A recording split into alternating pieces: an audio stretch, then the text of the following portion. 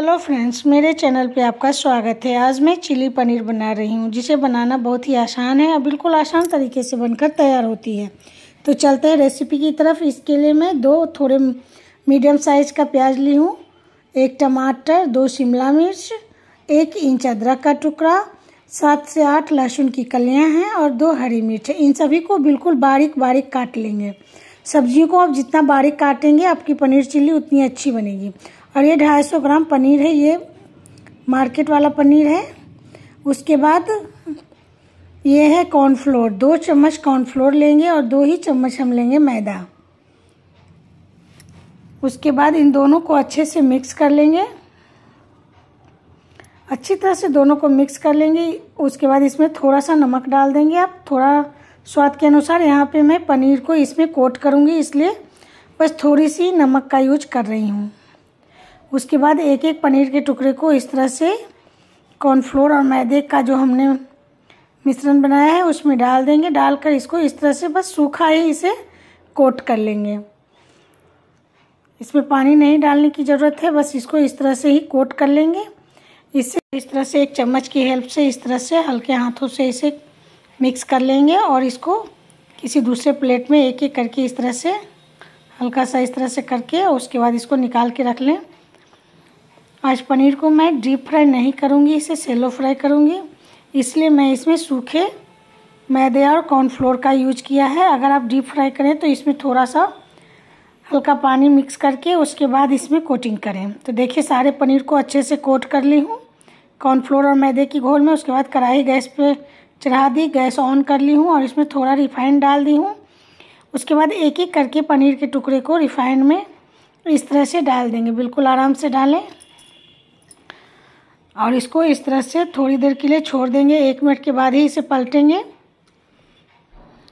तो इस तरह से इसको सेलो फ्राई कर लेंगे हम लोग। तो देखिए, इसको इस तरह से, अच्छे से इस तरह से बहुत ही आसानी से हो जाता है सेलो फ्राई और जो हमारी पनीर चिल्ली बनती है, बहुत ही अच्छी। इस रेसिपी में मैं ज़्यादा तेल का यूज़ नहीं की हूँ, इसलिए मैं पनीर को सेलो फ्राई कर रही हूँ। आप चाहें तो आप डीप फ्राई भी कर सकते हैं। तो इस तरह से थोड़ा और बचा हुआ था तो उसे भी दूसरी बार में इस तरह से ही सेलो फ्राई कर ली हूँ। उसके बाद सभी को निकाल लेते हैं। उसके बाद थोड़ा और तेल डाल दी हूँ इसमें, क्योंकि बहुत ही कम था तो एक चम्मच और तेल डाल दी। उसके बाद हरी मिर्च डाल दी हूँ और लहसुन की कलियाँ, जिसे बारीक काट कर रखी थी, और अदरक, इन सभी को डालकर ब्राउन होने देंगे। जब तक ये ब्राउन नहीं होता, तब तक इसमें अभी नहीं डालेंगे कुछ भी। जब ये अच्छी तरह से ब्राउन हो जाएगा, उसके बाद इसमें प्याज डालेंगे। देखिए ब्राउन हो गया है। तो अब इसमें प्याज डाल देते हैं। प्याज और शिमला मिर्च मैं एक ही बार में डाल रही हूँ, क्योंकि दोनों एक साथ ही थोड़ा पक जाएगा। इसमें ज़्यादा पकाने की ज़रूरत नहीं है सब्जियों को। इसमें सब्ज़ियाँ हल्की क्रंची रहती हैं, तभी अच्छी बनती हैं। तो इस तरह से डालकर अच्छे से मिक्स कर दी हूँ और थोड़ा नमक डाल देंगे स्वाद के अनुसार। तो नमक डालकर अच्छे से मिक्स कर लेंगे। तो अगर मेरी वीडियो अच्छी लगती है तो वीडियो को लाइक, शेयर, सब्सक्राइब करें। सब्सक्राइब का बेल आइकन बटन ज़रूर प्रेस करें ताकि मेरे आने वाले नए वीडियो का नोटिफिकेशन आप लोगों तक पहुँच सके। तो देखिए, यहाँ टमाटर डाल दी हूँ। आप चाहें तो टमाटर डालें या फिर टमाटर को स्किप भी कर सकते हैं, पर मैं डाल रही हूँ, इससे बहुत ही अच्छा टेस्ट आता है।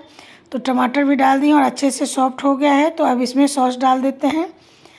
एक चम्मच सोया सॉस, दो चम्मच चिली सॉस डालेंगे। अगर आप तीखा पसंद करते हैं तो थोड़ा ज़्यादा डाल दें।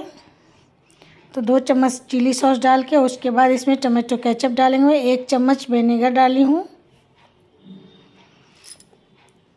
उसके बाद तीन चम्मच टमाटो केचप डाल रही हूँ। तीन चम्मच टमाटो केचप डालकर अच्छे से सभी को मिक्स कर लेंगे।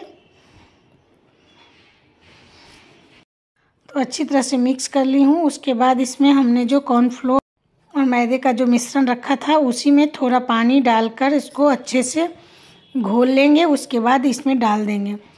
ताकि हमारी जो ग्रेवी बने, वो गाढ़ी बनेगी। तो इसी में मैं पानी डाल करके, देखिए पानी डाल देती हूँ। तो अभी थोड़ा ही पानी डालेंगे और इसको इस तरह से, अच्छी तरह से मिक्स कर लेंगे।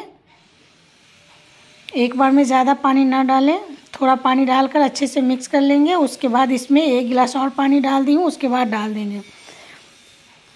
तो इसमें पानी थोड़ा और लगेगा तो अभी एक दो गिलास पानी और डालूँगी, क्योंकि ये बहुत ही जल्दी गाढ़ा होने लगता है।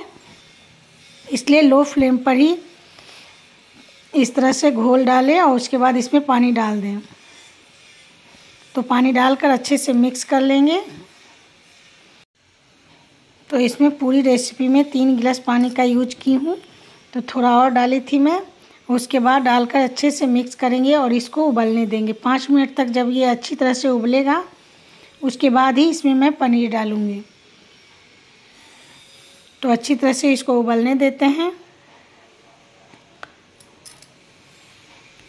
तो ये रेसिपी बहुत ही ज़्यादा टेस्टी बनकर तैयार होती है। तो इस, एक बार ज़रूर आप भी ट्राई करें।